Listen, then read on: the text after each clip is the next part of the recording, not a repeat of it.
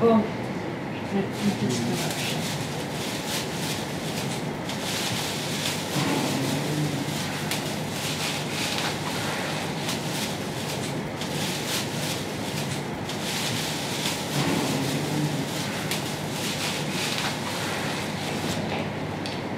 On m'a dit, mais pourquoi tu as fait toutes ces études, finalement, pour faire paysanne C'est agressif quand même comme phrase, ça. C'est moqueur, c'est méchant. Enfin, ça fait pas plaisir d'entendre ça.